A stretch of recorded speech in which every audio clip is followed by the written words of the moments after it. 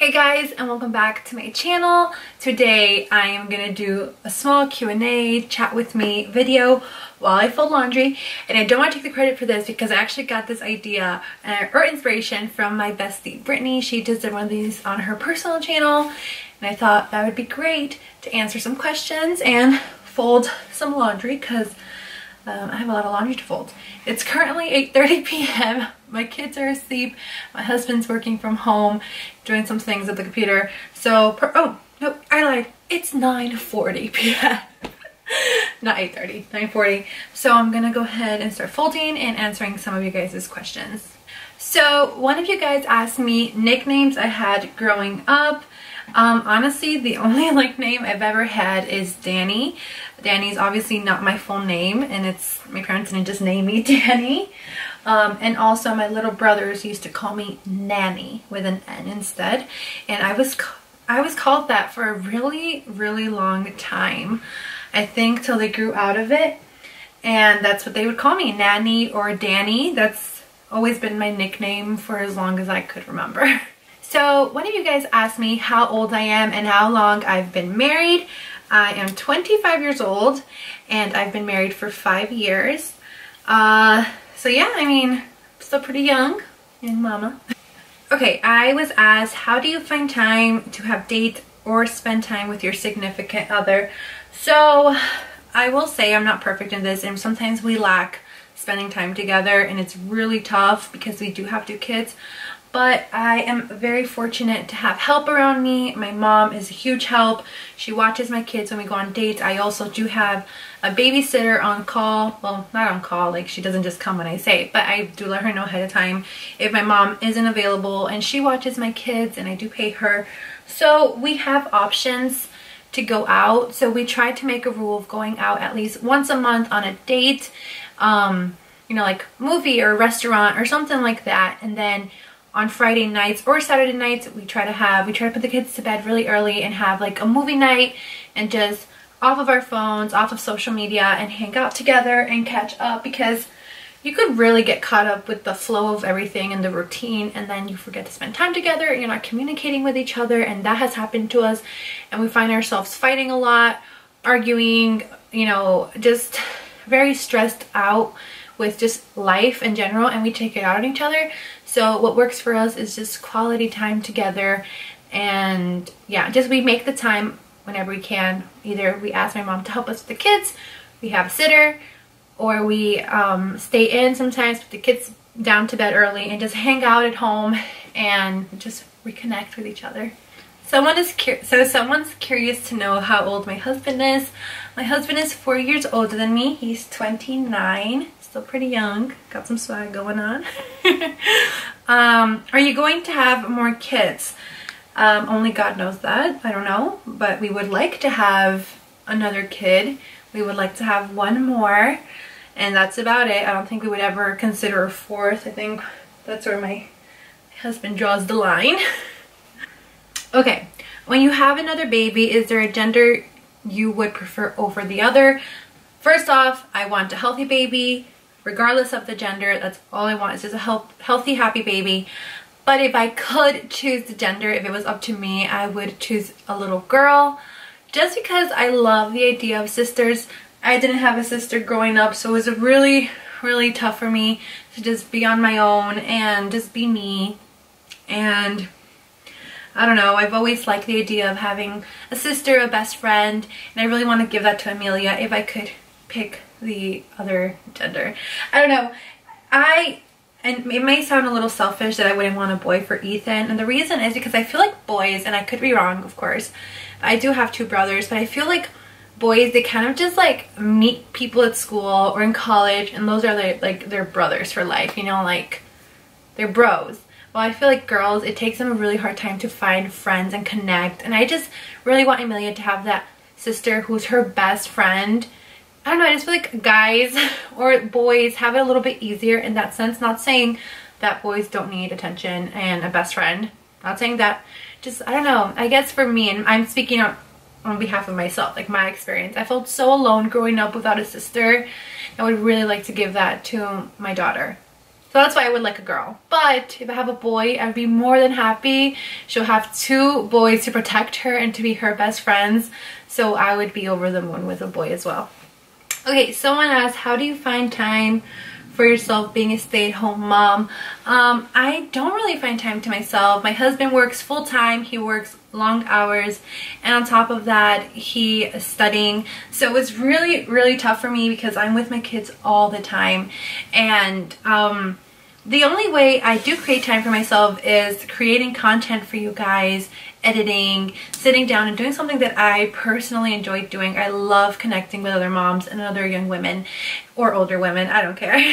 and just talking to you guys and I don't know, making friends is awesome. So that's a way I get time to myself. I also make sure I put my kids on to bed at like 7.45 just so I can watch some TV, um, take a bath, hang out on my own and spend time with my husband when we can. So those are the only ways I do make time for myself. I try to be pretty active in my life. In other words, I try to hang out with friends a lot. I try to leave the house, not stay like in all the time because I feel like that really affects me sometimes. So I think the, that's just the way I make time for myself and do what I like and I just have to have my kids tag along with me sometimes. But um, I manage. I think I manage. Okay, so someone asked, do you like the age difference between your kiddos? Um, not really, but here's why. The reason I don't like it is because I feel like it's a little bit much. It's almost three years and a half of an age difference and I wish it was like two and a half. Um, just because I feel like Ethan and Amelia are in such different stages of, in their lives that they have like nothing in common. They're super cute together and they do play sometimes, but most of the time they're just fighting. So I wish I would have them closer in age, but that didn't happen. So I would say for me, if, I, if it were up to me, I would have had Amelia maybe a year or so earlier than when I did. But obviously that didn't work out. so one of you guys asked, what's your favorite thing about fall? All of it. The weather. It's mainly the weather, honestly. Fall weather and fall vibes are amazing. Like being able to wear chunky cardigans and leggings with riding boots and just I don't know all of that just the coziness is amazing for me. I, I love that alone. I love going to the pumpkin patch with my kids.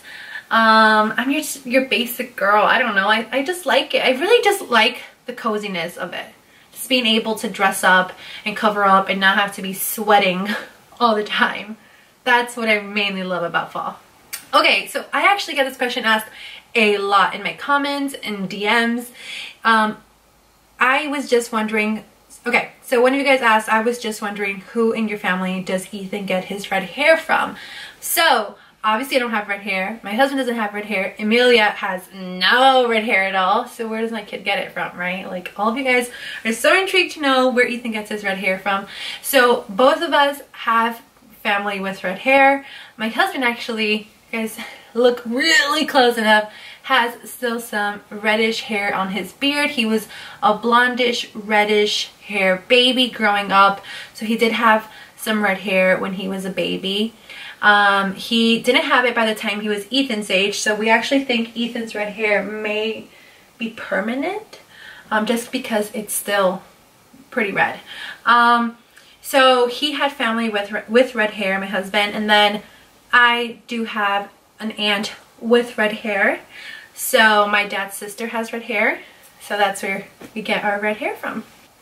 Okay, so I've been asked this a few times too. If you have a third baby, what would you name her or him?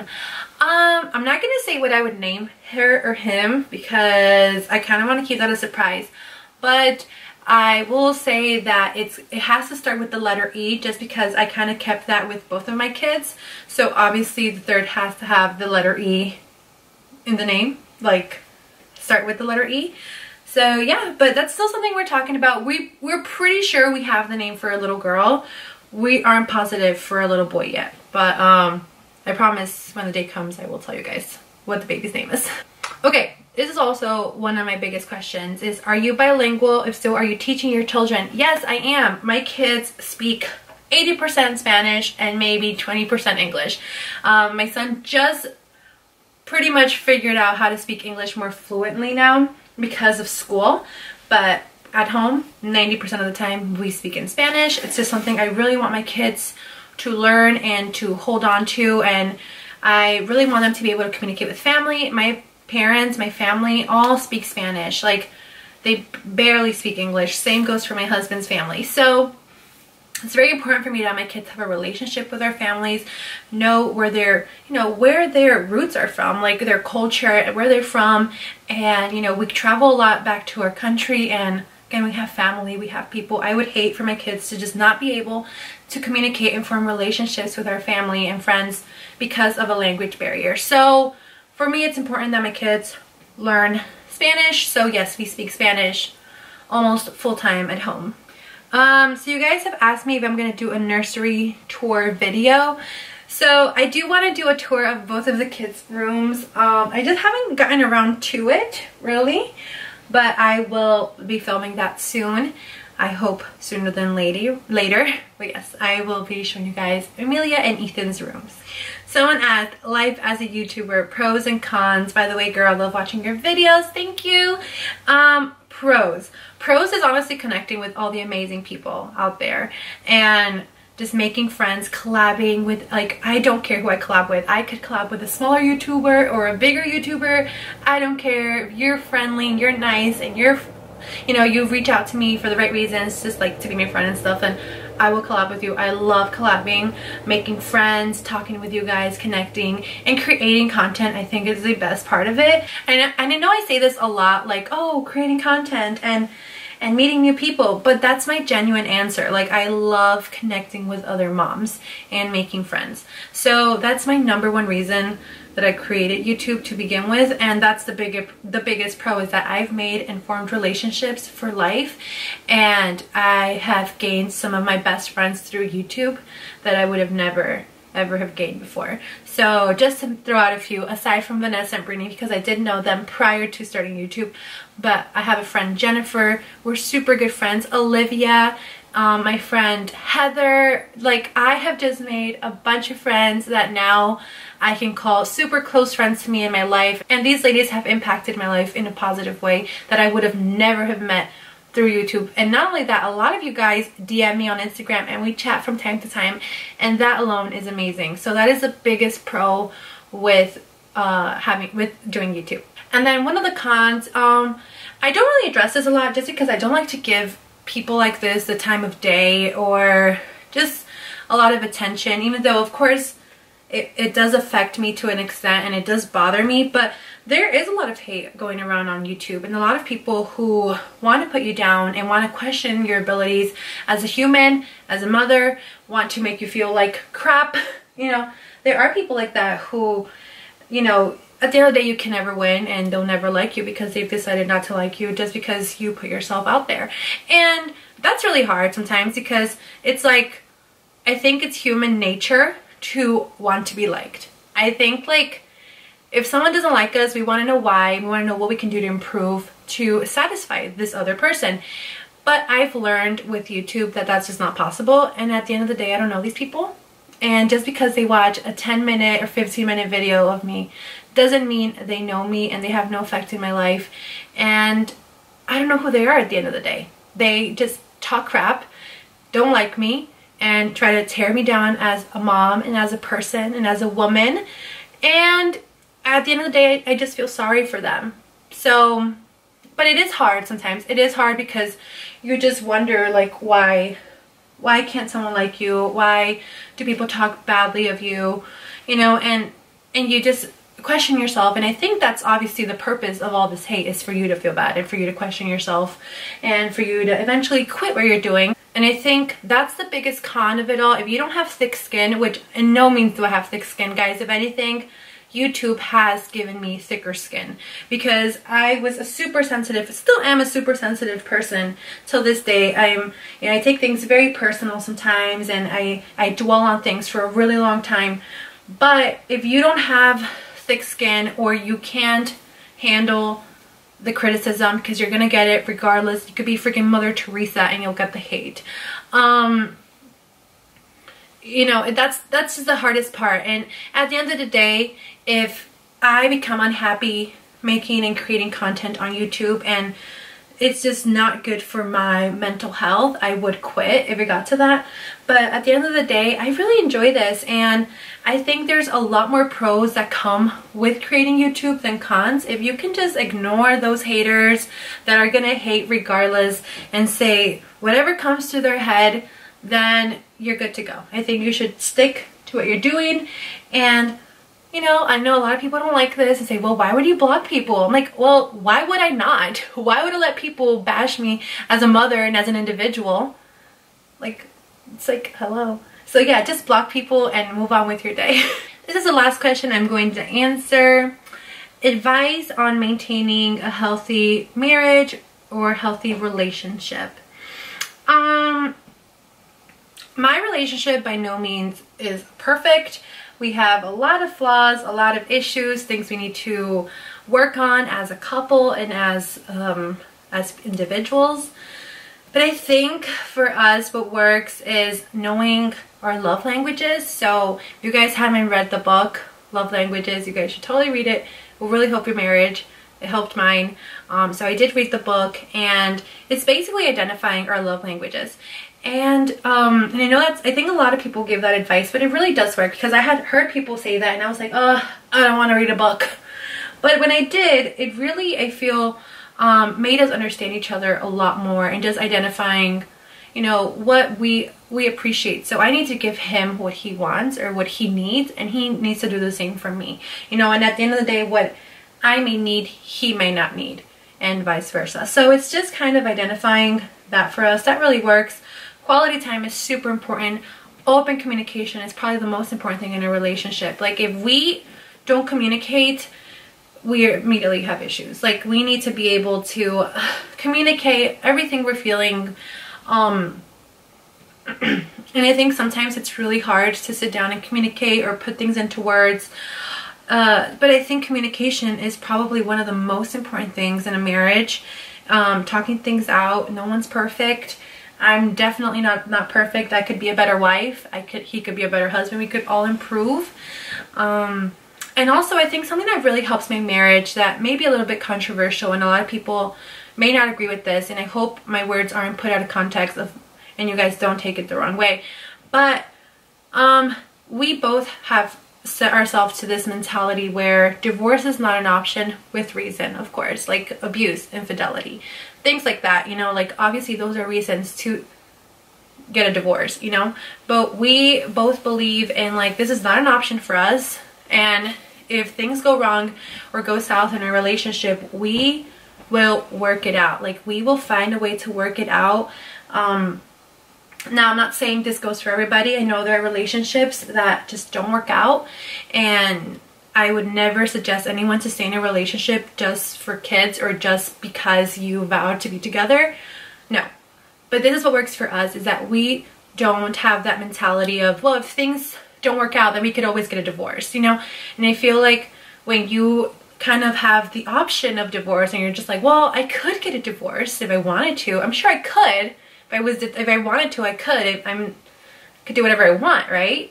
But we, that's just not an option in our marriage. There are things for us that would make us break up, of course. Like there are certain things for me that I wouldn't tolerate and wouldn't, I feel like I wouldn't forgive. Same for him. So if we cross those lines, then of course divorce would be an option for us but when it comes to just communication sometimes you fall out of love in your relationships I, have been through it you know we have had so many ups and downs in our marriage um, I wish maybe one day I'll make a video on it, but we have gone th through so much because we've been together for almost nine years. We were kids basically when we, we started dating and all of that. So we have been through so much as a couple and there was a point that our marriage almost didn't work out but um, I think just keeping that mentality that you're going to work it out no matter what. And you know what? It's okay to get help and seek a third opinion and um, you know, maybe go to your pastor and get help. I think Bible study really has helped our marriage. Um, talking to older people who've been married for a longer time has really helped my marriage. And just um, knowing that sometimes you can't do it alone, you know, like you can't fight for your marriage alone. You need help sometimes. I think that's helped my marriage a lot. And again, we have gone through seasons in our lives where things just don't work out. Like we are just don't we don't have the patience for each other. We don't tolerate each other. We don't communicate with each other, and that is normal. And that doesn't mean I don't love my husband. That doesn't mean I don't want to fight for my marriage. It just these are these are normal things in life, you know. Um, but I think just keeping a mentality that we will work through anything and through it all Again, I hope no one takes that out of context and thinks I'm saying no one should get a divorce, no one should get separated. That's really bad. It's not what I'm saying. Of course, there are reasons in life where people do get divorces and they're, they are justified. Um, just that we always try to uh, keep that mentality of we will fight for this marriage just like any like I guess for me it's it's like this as a mom I would fight till death for my kids. Like I would do whatever it takes. Like you'll have to kill me first to get to my children. I think the same goes for marriage, or at least for my marriage. It's like, you know, I will fight till the end for my marriage until I have I can say, look, I tried. I really I tried everything I could and it didn't work out. And then I'd be like, okay, I could call it quits. I think keeping that mentality of just working through it all and just communicating and seeking help when it's needed is what's helped my marriage. And I'm just speaking for myself. This is what works for us. I don't have a perfect marriage. I have a lot of flaws in my marriage, a lot of things I could work on as a wife and as a woman, and same goes to my husband. But um, just trying to have open communication, quality time, and seeking help when it's needed, and also seeking God because that's what has kept us together for this much time, and I hope for the next 50, 60 years. Uh, but yeah, anyways, that just got really sappy, but it's just the truth. I want to be honest with you guys. Um, but yeah. and actually, I'm going to answer one more question because I feel like I just want to end that on a different note. Um, favorite Colombian dish. So my favorite Colombian dish, which I don't know how to make yet perfectly. I know how to make some things, which is bandeja paisa. It's basically like rice, beans, chorizo, um, a fried egg, what else is in it? Avocado. But anyways, guys, I'm going to end this video and I'm going to finish folding this little bit left. And I'll see you guys in my next video. This was so much fun. And let me know what you guys think in the comments and leave me some questions and talk to me and all that. And I'll see you guys in my next one. Bye!